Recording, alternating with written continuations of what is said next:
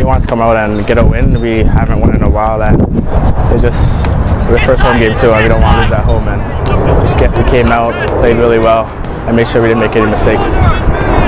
I guess the ball deflected and it came right to me, and there was a guy in front of me. I just caught him once in the box. I had to do it quick. It was just a quick instinct, and I placed it in the corner.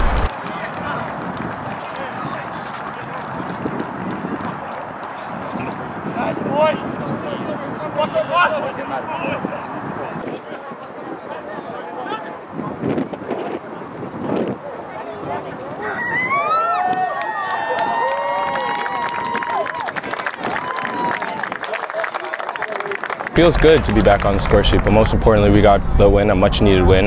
And um, I think we sent out a good message, but for strikers, we want to score goals, and so it feels good to be back on the score sheet.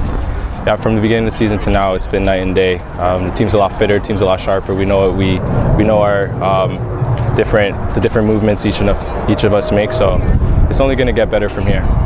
Both teams are displaying some of the best young talent in Canada. Um, there's some pros that have been playing. There's some kids who have been playing pro before on there and trying to get back. There's some kids who are going to be pro. So this was uh, it's a great spectacle for the crowd to watch. So it's, it's exciting stuff.